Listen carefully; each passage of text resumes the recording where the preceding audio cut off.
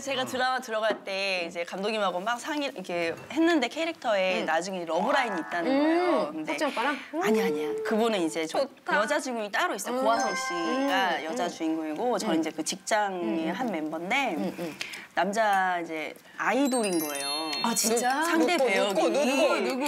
그 인피니티의 동욱 씨. 호야 씨. 뭐야? 그래갖고 내가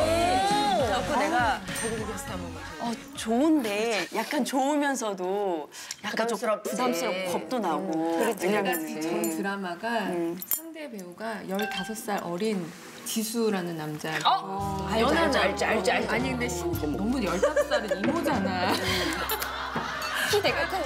미안한 거야. 얘도 얼마나 자기 또래 여자애들하고 해보고 싶겠어. 아니 그래서 언니 나도 그랬어 그 친구를 처음 미팅을 했는데 어, 난 저기 미안하다. 미안하다 고 상대 배역이 나라서 미안하다 미안하더라 미안해 되게 그러지 마. 왜 미안해? 아이, 근데 많은 연상은 처음일 거 아니야. 그냥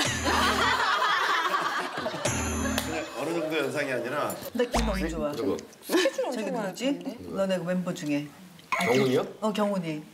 민경-. 민경훈인가? 경훈이도 오라면 오죠. 아 엄마가 그런 스타일을 아 붙으면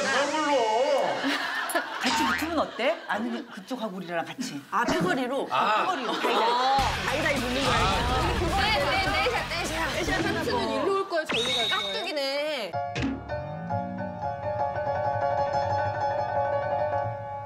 나는 불교 신자라서 절로 가요.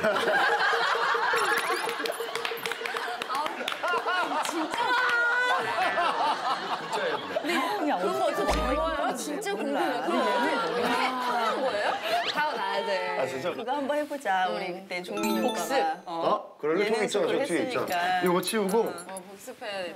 이거 치우고. 어머. 왜? 언니. 미끄러지. 왜 연약한?